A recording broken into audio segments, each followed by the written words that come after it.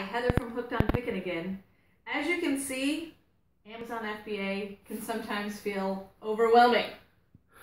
This is a haul from about one day's worth of picking, and I got home, and sometimes you will feel, ugh, now I have to post it all.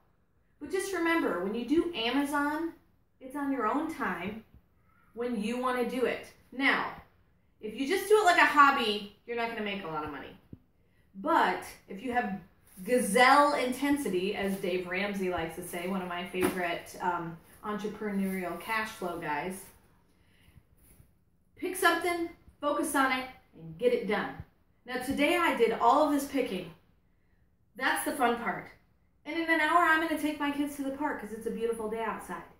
But when you put the kids to bed, or they're watching their favorite show, or they're working on homework, you can pick an item scan it, log it, slap a sticker on it, put it in a box, and send it off to Amazon, and you're done with it. You don't have to see it anymore because your end of the work is done.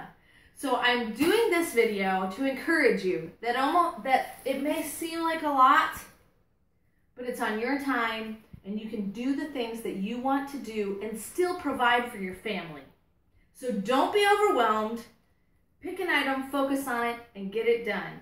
It looks like a job because it is a job, but it's a job where you're the boss, you're the president, you're the CEO, and you get to choose when you want to work. It is work, everything is work, but be encouraged that you can still make money and do the family things that you choose to do.